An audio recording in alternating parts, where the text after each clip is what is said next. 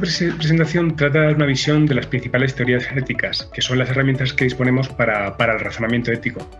Cuando tomamos decisiones en nuestra vida profesional, personal, lo hacemos normalmente informados por una serie de principios éticos.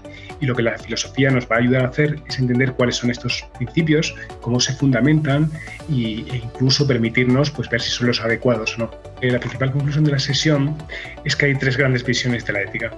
La que pone énfasis en las consecuencias de nuestros actos, el consecuencialismo, la que nos dice que lo justo es respetar la libertad y los derechos de las personas, que son las teorías deontológicas, y una tercera que nos dice que no podemos dejar de preguntarnos como comunidad cómo queremos ser, qué nos debemos los unos a los otros y cuáles son las funciones que deben cumplir las diferentes diferentes instituciones sociales. La filosofía ética se estructura en tres niveles.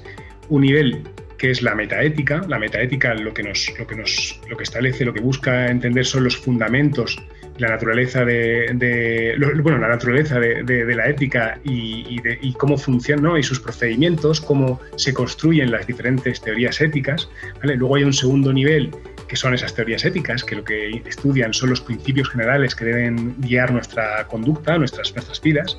Y finalmente hay un tercer nivel, que es la ética aplicada, que utiliza estas teorías para eh, enfrentarse a cuestiones específicas de éticas, como por ejemplo puede ser el, aborto, eh, a cuestiones éticas que surgen en el marco de, ciertas esferas de actividad humana, como son la, profesión y en nuestro caso la profesión de, auditores. En los auditores internos, con esta presentación, lo que van a aprender son las principales teorías éticas que hoy por hoy forman el debate público sobre cómo debemos vivir nuestras vidas.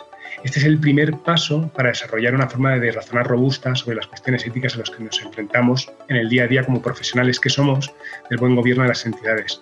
La manera en que un auditor puede mejorar su desempeño ético es tomando, lo primero, tomando conciencia cuando actúa de cuáles son los principios que le están guiando.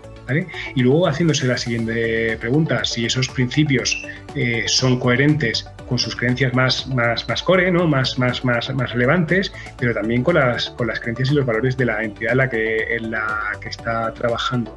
Y luego, eh, una vez entienda estos principios, eh, entendiendo si ¿no? analizando si la manera en que la compañía eh, pues actúa, establece unos procedimientos, una forma de actuar y se relaciona con sus clientes, con sus stakeholders, es coherente, coherente con estos, con estos principios.